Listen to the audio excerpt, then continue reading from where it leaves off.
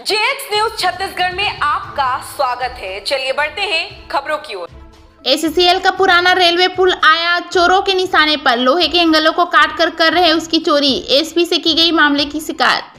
कोरबा में चोरों के हौसले किस कदर बुलंद है? इस बात का अंदाज़ा इसी बात से लगाया जा सकता है कि उनके द्वारा मुख्य मार्ग पर मौजूद पुरानी संपत्ति को भी नहीं बख्शा जा रहा। कोरबा राजकमर मुख्य मार्ग पर ग्राम डुमाडी के पास मौजूद एसीसीएल का पुराना रेलवे पुल चोरों के निशाने पर आ गया। चोर आहिस्ता आहिस्ता पुल पर लगे लोहे के एंगल काटकर उसकी चोरी कर रहे हैं।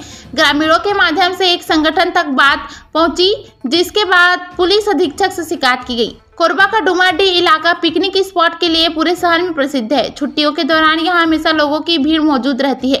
पिकनिक स्पॉट के पास ही एस का पुराना रेलवे पुल है, जिसकी उपयोगिता अब ना के बराबर है। आम जनता के लिए भले ही पुल किसी काम का ना रहा हो, लेकिन चोरों के लिए यह काम धेनु गाय से कम नहीं है।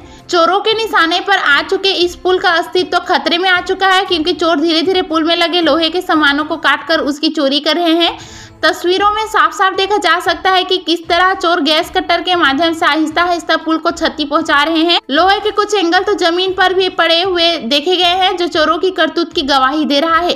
इससे पहले कि पुल पूरी तरह से चोरों के भेंट चढ़ जाए, इसकी ग्रामीणों ने एक संगठन से इसकी शिकायत की, जिसके बाद एसपी तक पूरे मामले को पहुँचाया गया।